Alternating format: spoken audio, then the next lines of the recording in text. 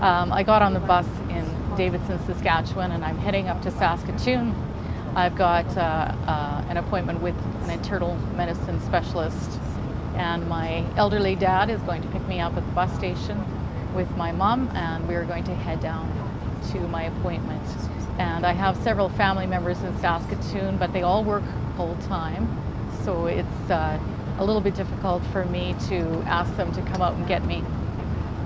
My husband um, is uh, currently in New Zealand. Um, he just started a new job. Um, he was laid off here in Saskatchewan. So for me, taking the bus is definitely freedom for me. I can go into Saskatoon, do a little bit of shopping, see my family, get some appointments done, get this dog organized in order to actually go to New Zealand. Um, there's a lot of paperwork, etc. So um, I definitely have been using this service quite a bit over the last 10 years and in particular over the last six months. Um, uh, I will really miss STC. I think that um, it's unfortunate that we have to let this go. Uh, it would have been nice if we could have subsidized it on, on some level. So yes, it will be sorely missed. I, I, am actually completely blind and I don't have a problem with that term.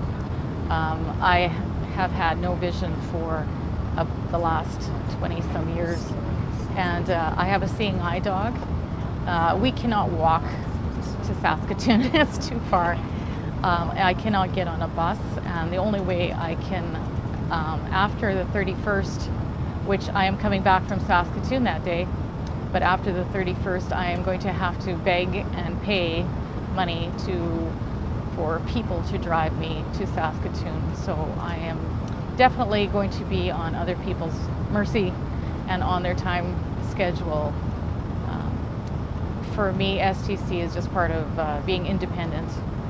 It is a way for me to feel like um, I am part of a society that can support diversity for disabled people, for seniors.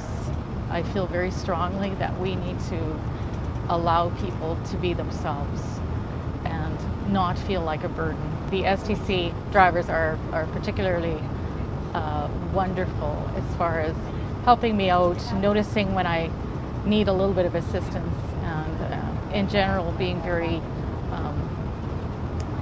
very positive about my seeing eye dog and and just my my needs in general.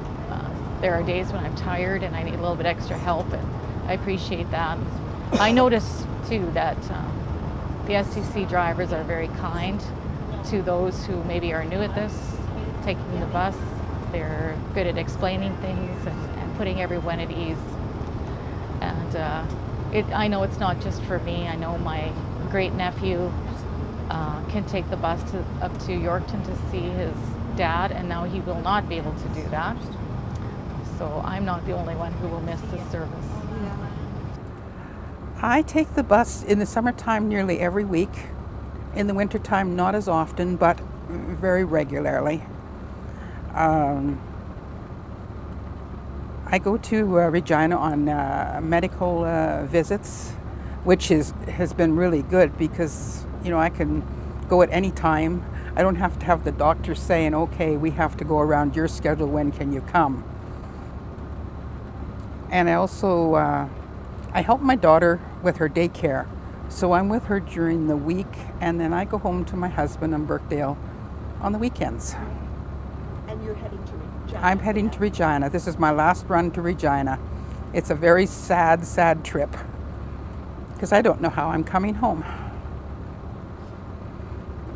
I leave the car for Walter because he needs the car to get around. And in Regina, I've, my children are all there. They can uh, take me wherever. I've got city transit. You said you don't know how you're getting home. That's no. The bus service ends. There's no bus service. Yeah. So I don't know uh, if I will get a ride. I don't know uh, if my husband will come and get me. I don't know if my children will take me. I right now, as of today, I don't know how I'm going back home. It's very, very important. It ties the rural areas in to the uh, to the cities. because Saskatchewan is not a corridor like Alberta. It's it's spread out everywhere, so they really truly need this bus service uh, throughout Saskatchewan. It's been here for so many years, and it's so sad that suddenly they just take it away for really no reason.